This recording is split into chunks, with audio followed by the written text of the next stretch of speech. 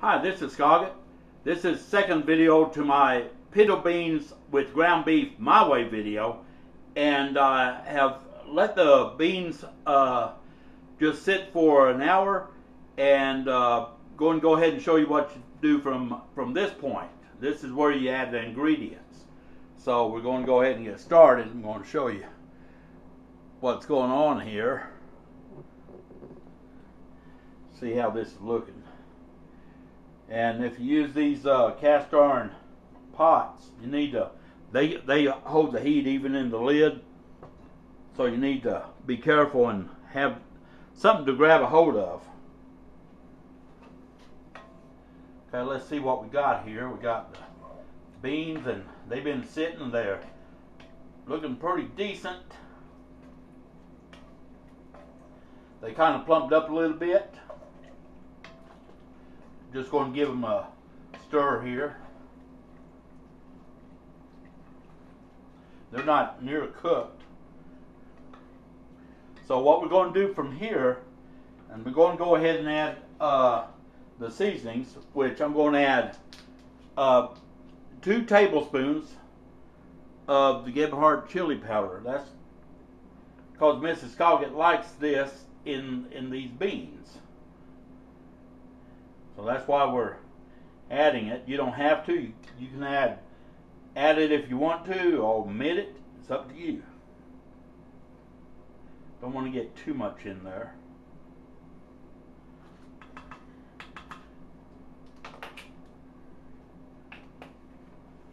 So we got the chili powder. I'm going to give that a stir.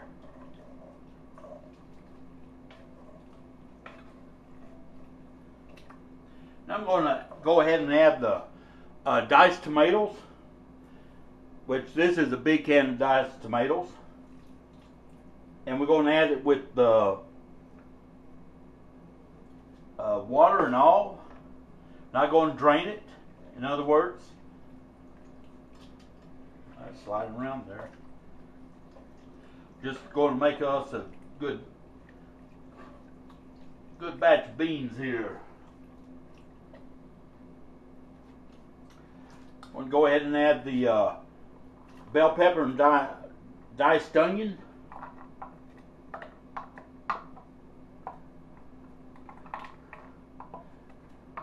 I don't think you can ever get too much of this in there.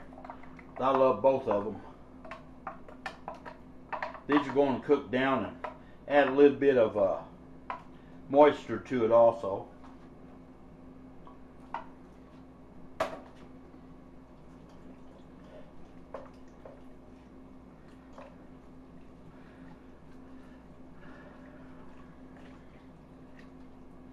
I'm going to go ahead and add the ground beef, the browned ground beef to it.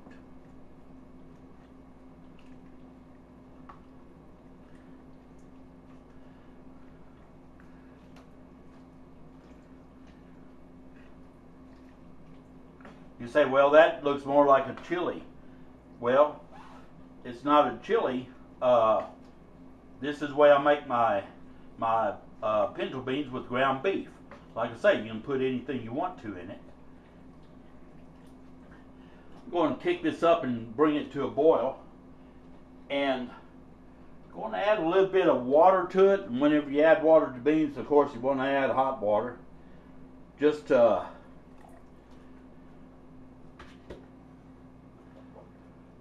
add a little moisture on it because you sure don't want these to burn. Nothing like the stench of one burnt bean will ruin the entire pot. I'm not lying to you. Now they say, whatever you do, don't add the salt. I always add uh, Lawry's seasoning salt to it, and never had a problem. Add a little bit more flavor to it.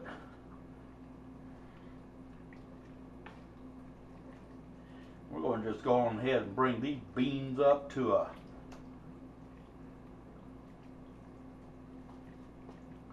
to a boil now.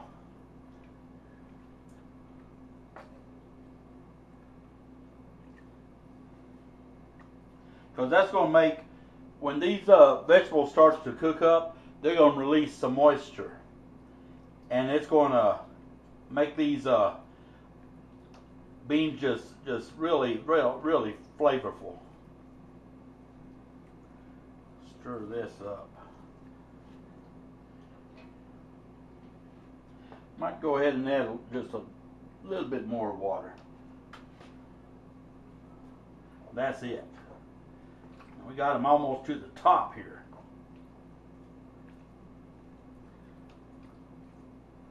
Which is good because I tell you what, I like these beans.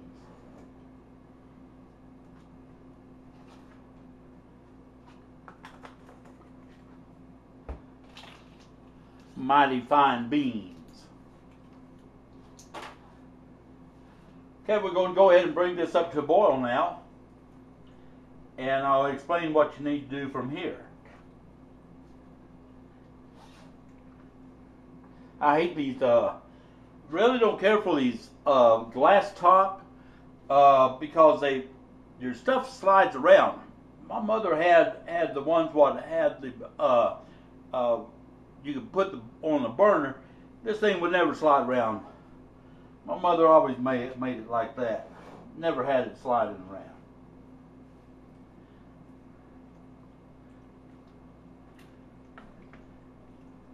She's uh gone to heaven now, so know where she's at, so I don't worry about it. Her, my grandmother, and my dad. Just uh Really gives a peaceful feeling when you know that. We're going to go ahead and bring these up to a boil. Like I said, I want these to be a like a real good boil, and then I'm going to uh, show you what we do from here. And like I say, you can add whatever you want. If you want want them hot, add jalapenos. If you want them uh, holler and jalapeno, uh, uh, uh, like uh, the habaneros. It's up to you, however you like these beans. If you don't like onions, don't put them in. You don't like bell peppers, don't put it in. You don't like uh, tomatoes, don't put it in. I mean, it's all up to you. You make this any way you like it. I'm just showing you how I like it and how I make it. And this is just kind of like a guideline you can just make them plain. Uh, they're always good. No matter how you do be, uh, pinto beans, they're always going to come out good, and they're uh, they're uh, just uh, just a really good has a really good taste. I love these pinto beans. Man, I could eat these every day. Of course, Mrs. Scoggins says not do that. She's got to live with me. Okay, come up to a boil now. That's what we're waiting on.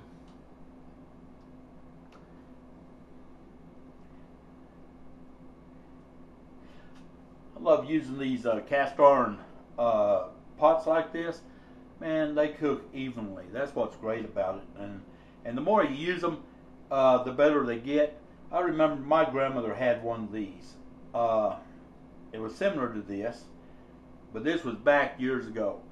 And the inside of that pot was so shiny you could see yourself. I used to, when I was a kid, look at myself and it was like looking in a mirror, like looking in glass. And that's how well seasoned it was. And uh, I wish I would have got a hold of that pot. I don't know what happened to it. I was uh,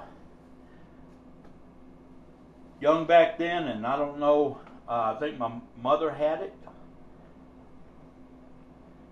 And then uh, I don't know what she did with it. I think she kept it, and then when she passed on, I don't know, maybe my brother has it.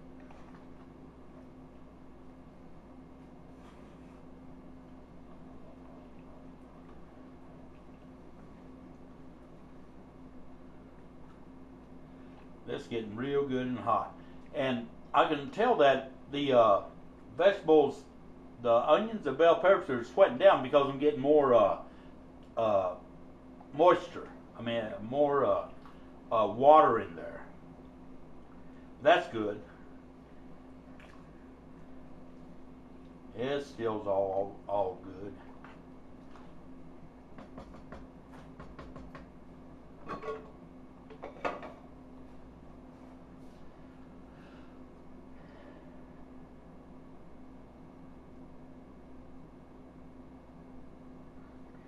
Waiting on it to come up to boil. I tell you what, it smells great in here already.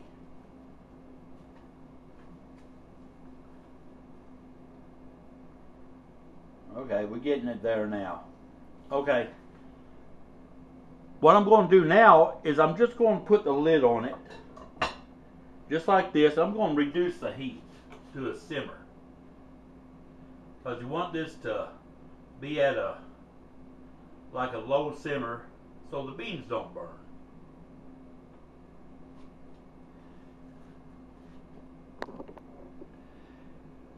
Now we got it uh, brought up to boil. We're going to put it at a low simmer and cook these beans until they're tender. Uh, how long will that take?